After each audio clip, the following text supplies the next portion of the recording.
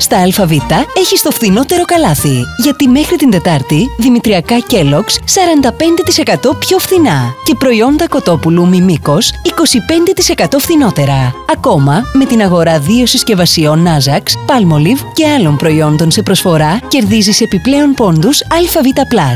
ΑΒ Βασιλόπουλος. Εδώ το καλό είναι για όλους.